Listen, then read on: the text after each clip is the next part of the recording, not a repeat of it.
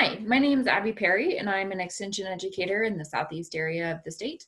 Um, I'm based in Carbon County, and I thought that a pertinent topic to talk to you guys about today would be um, preventing deer damage on garden or landscape settings.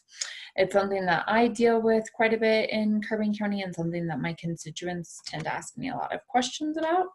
So I'm just going to go right here to my PowerPoint so we can get going.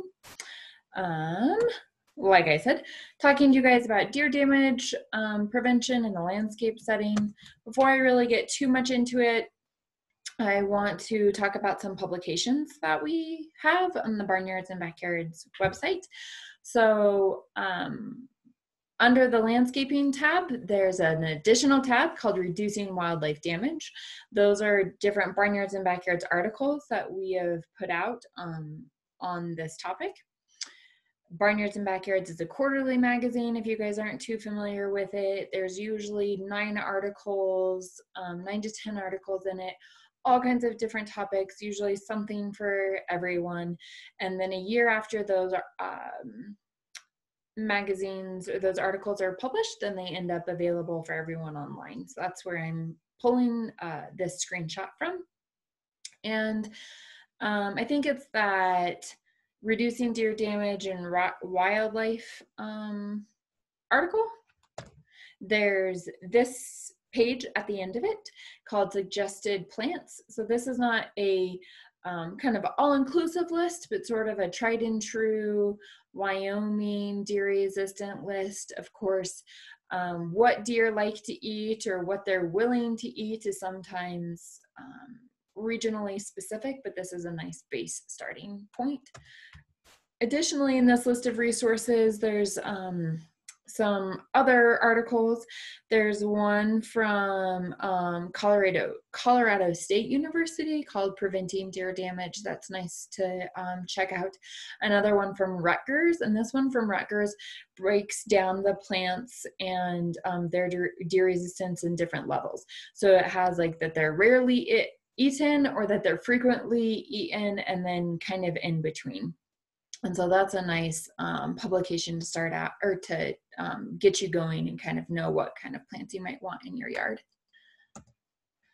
So I think first of all, it's good to talk about what is deer damage. So what do I mean when I say those words? And I've kind of broke it down into three categories. So deer in the fall, especially during um, rutting time or they're trying to scrape velvet off of antlers, they tend to do a lot of rubbing on trees.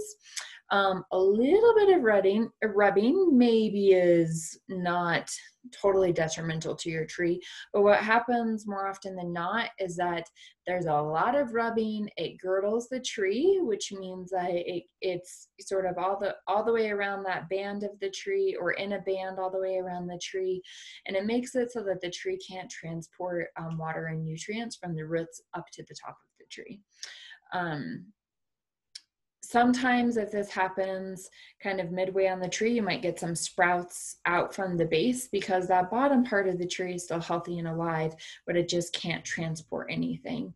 Um, yeah what you choose to do with the tree at that point is kind of up to you. If it's get rid of the tree and replant or let some of those sucklings go they're not always the most um, sturdy or strong little saplings that come up the other thing that happens, um, or another thing that happens, is what I call snacking, although snacking sounds more cheer- cheerful than what's really going on. And that's when the plant or the deer comes in and just eats your plants. Sometimes it's just that they are curious and take a bite or two, or sometimes they completely decimate what's there. Um, and then the last thing that I wanted to talk about, or another kind of damage, is when they pull plants out um, usually out of your container gardens. So deer, again, are very curious animals. And so they might come in, especially like young fawns, try something out. And what ends up happening is that they rip that plant out of your pot. And I was talking to um, clientele here in my county, and um, this particular lady had ceramic pots up um, kind of on a on a ledge next to a front step and the deer had come over and they'd been pulling out different plants that they were curious about and they actually knocked these big ceramic pots off of this little ledge that they had, fell on the ground and broke. So, what that plant damage is can be um, different. And I don't know if we always think about the pulling out or the breaking aspect of things. So, um, I admit when I this earlier this year I was doing my gardening and I was feeling very sort of distressed and like, uh, it is me against these deer. But I started driving around my community and looking around and seeing what other people were doing to um, kind of live with the deer and i started noticing a lot of different techniques that people had come up with. And so a lot of this presentation is pictures that i found again while i was driving around my community um, and what people are doing. And i would absolutely uh, recommend or encourage you to do this in your community. For one i found it very like yes i can do this. Look at all of these great ideas. But also um, you know, just to get some ideas and what's working in some regions maybe won't work in others. So definitely get out, go for a drive, go for a walk, see what people are doing.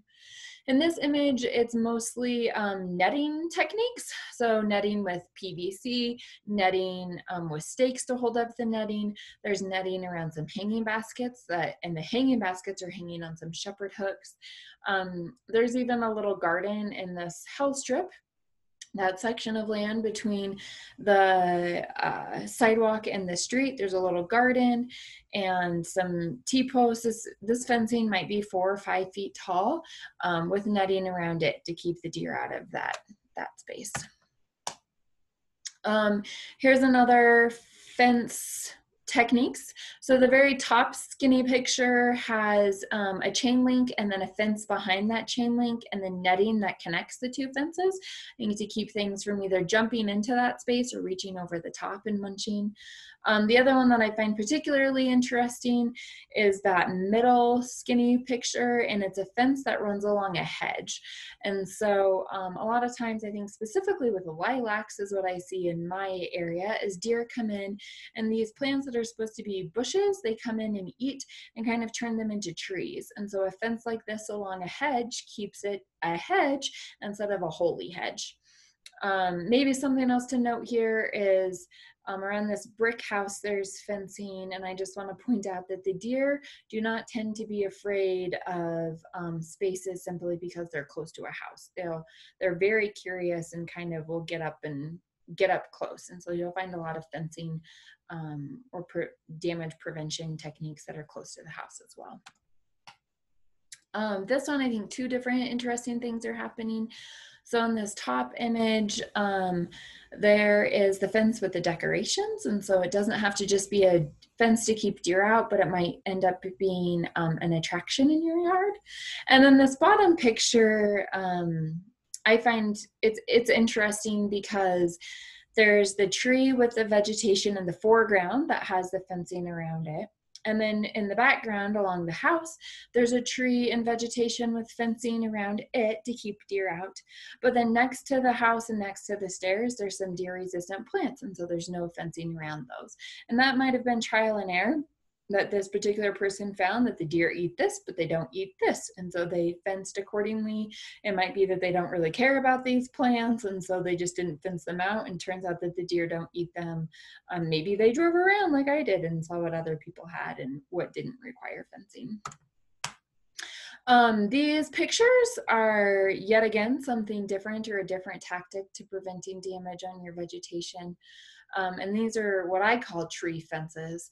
So this top left-hand image is actually from my own yard. We um, got tired of having to replace our fencing every year, either from the UV uh, rays and our sunlight at high elevation breaking down the plastic or the wind ripping the plastic. We also have a lot of drifting at our um, house. And so that was kind of the snow and just harsh winter conditions were breaking down our fencing that we had around our trees.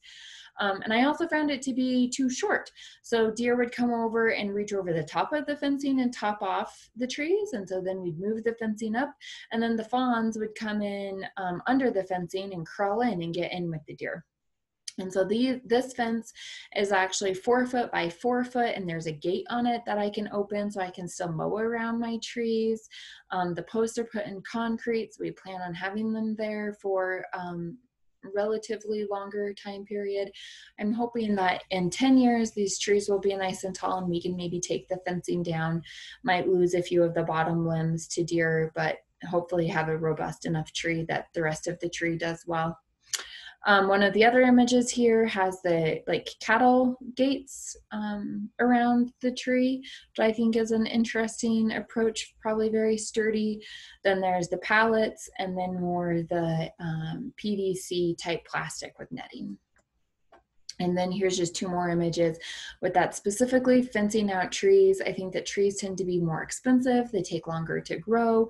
So if you've got a tree going while you're to really do everything you can to keep it um, alive and well. And so here's just some specific deer, or I mean tree prevention tactics. Um, here we have a short fence problem. So shorter fences deer tend to jump over. I think that they can clear up to like six foot fences. And so here are some um, a chain link fence that then got like a wider um, a wider scale like grid chicken wire type fencing above it um, a dog ear wood fence with some chicken wire above it and then this little picket fence that has almost like a baling twined type um, uh, wire up above the picket fence to hopefully keep deer from jumping into the yard. This one is um, flagging. Uh, so the first one is a fenced out tree like we've seen before and then flagging on it. I think the idea to kind of scare away the deer um, so that they don't get close to check it out. The second larger image is actually kind of a combination of what we saw in the previous slide with the short fence problem and then the wire strands up above it to keep the deer from clearing that short fence and then some additional flagging. You can see the flagging on the brown house a little bit better, I think. So this is just sort of my comic relief. As I was driving around, I saw deer eating plants. Uh, the deer, the single deer by itself is actually in my own yard. So I'd been driving around taking these pictures, drove back to my house to get something, and lo and behold, there's a deer in my yard um, these other deer together eating on the bottom of the tree. I think that this is kind of a common thing that we see some bottom sacrificial limbs going to the tree, probably not hurting it in the long run. It seems to be a nice, healthy, robust, bright green tree. But um, something to maybe just keep in mind that even when we fence out the trunks from being rubbed on, that some of those branches are still within reach of those deer. So those are all sort of that fence out, keep the deer away from the vegetation type approaches to deer prevention.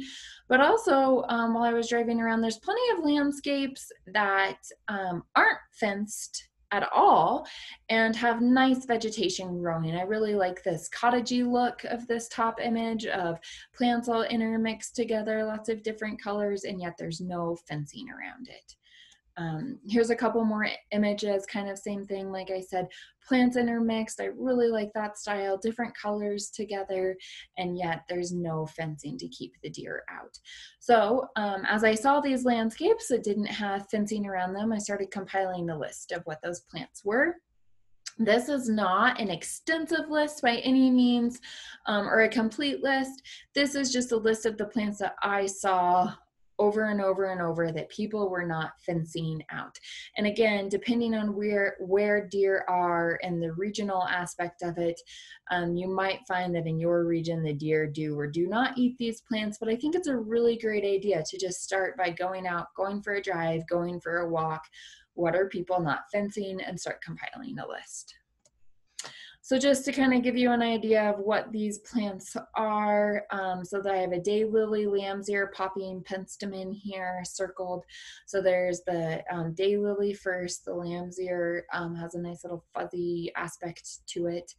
Um, then there's that's a a variety of a poppy with the purple or with the pink. And then i'm sorry the penstemon you can't see really well maybe a little bit of it um, under my image purple penstemon. Um, that's not its name that's just its color. Um, i also want to point out that like lamb's ear for instance has a real tendency to spread. Um, this presentation or these images really isn't taking into account any of the other things that might be challenges or might be benefits from these plants, just simply that the deer tend not to eat them. Um, here we have Russian sage down in the lower image um, on the left-hand side, yarrow above it next to that white picket fence. In the top image, there's a Shasta daisy and then hollyhocks. And then in that last image, snow on the mountain. Um, want to point out two things about these images. So that hollyhock, I have an asterisk next to it, and that's because hollyhock tends to show up over and over and over again on deer resistant lists. I saw it while I was driving around over and over and over, not fenced out but the hollyhocks in my yard get munched by deer. I think that they are just in a high traffic area where they where the deer walk by. Lots of little fawns who are investigating tend to snack on them. Um, but I just again, this isn't a foolproof list. This is just a place to start. And then that lower image with the um, snow on the mountain, this is another image from um, my personal yard and the, there, the snow on the mountain, the deer never touch. But just in the foreground in front of that snow on the mountain are some Asiatic lilies and the deer love them. And I have to do a lot of um, spraying, which we'll talk about here in a minute, to keep the deer off of them. So I just don't want anybody to, to see those Asiatic lilies and think that those are also deer resistant. Um, here we have um, rudbeckia in the bottom image, um, that nice orange color. Um, you might know it as black-eyed Susan. Above it is a yucca, um, us usually out in like the rangelands have a really interesting seed pod on them. And then the echinacea that's circled right under my image. Um, again, echinacea has an asterisk there because I've never had a problem with deer eating echinacea. It's on a lot of those deer resistant lists. Um, I have it in my own yard. My mom has it, all of that good stuff. I gave it to a friend this year and the deer devoured it. And so I was talking to a colleague and she had suggested that sometimes when we buy these plants from um, greenhouses they've just they've been babied. They've gotten a lot of water they've gotten a little a lot of fertilizer and so they tend to be more tender and that makes deer want to snack on them more. Um, and then additionally like i've mentioned before in this presentation that deer are very curious. So if you add something new to their um, kind of to their habitat or what they're used to doing day in and day out, they're going to investigate. And so that was kind of the explanation for why this particular echinacea got devoured, that it was probably nice and tender from being at the greenhouse, or was just something new in the deer's path and they decided to snack on it. So um, it might be something that in a first year of establishing some plants, you need to do some temporary fencing, but in the years after, um, you, you won't have to. So you don't have to put that fence back up after um, you know the snow beat it down or after it got broken down by the sun or whatever just a little bit of protection that first year um, here in this image, we have iris, some salvia, and then some peony up in the top with the black circles. Um, again, peony with an asterisk because as I was driving around, sometimes the peony was fenced out and sometimes it wasn't. Um, peonies also tend to need a little bit of stabilization, so I'm not sure if it was fenced out because it was being stabilized or not. But um, it was about 50% of the time it was fenced and 50% of the time it wasn't. These peony are very nice, large, robust, healthy looking peony that don't um, I don't see any indication of being them being snacked on, and I'm pretty confident that um, they would be deer resistant as well. So like I mentioned, or like um, about spraying in my own yard, we've talked about fencing out um, the deer, we've talked about planting deer resistant plants, but there's also this third option of um, repellents. Uh, I know that my grandmother has a recipe for homemade repellents, and I just want to caution people that commercial um, repellents go through um, a testing, you know, they're, they're researched, and most of the time our homemade repellents are not. And so um, I just think it's a, I, I would caution people to use homemade repellents and go with something that has been tested and proven or go gone through some sort of process with you know the components that are made up of it or that it's made up of um, I just did a quick Amazon search, did deer repellents. These three repellents were the first ones that came up. I took a screenshot. I'm not suggesting that any of these are better than the other or that these three products are better than any other product on the market. It's just the first thing that came up in that search. Um, this little expert is from the back of one of them, and it just talks about how it's still safe. This particular one was still safe to spray um, around your fruits and vegetables, um, edible things that you might be consuming. And then it also talks about preventing damage from um, other ungulates besides deer. Um, oh, and with these products, sometimes uh, a company will have multiple scents and so deer tend to get used to having some of these repellents and so by being able to alternate scents um, might make them more successful or maybe even alternating between product types. Um, i've lived I where I've lived, I've gone through six growing seasons here, and I found that the repellents were very effective for the first three or four years, and now they've become less effective. And I don't know if it's just um, deer population increasing or that they're getting used to that scent or what it is, but that's just sort of been my personal experience. Um, and then, of course, there's always the do nothing option. I want to uh, put out there to people that just because the deer are eating on things doesn't mean that you have to do anything about it. Um, you can always just let it go. But I think that the fencing out, um, the repellents, or finding some deer resistant plants are the most common. I'm working on putting together um, a demonstration education bed here in my county to kind of look at some of these things and do some a little bit of experimenting um, further with deer resistant plants. So I hope to be able to share that with constituents in the in the future. And again, here's just my contact information. I would love to hear from people or if you want to talk more about um, preventing deer damage, it is something that I'm kind of passionate about. So definitely reach out to me via email or give me a call. Thanks.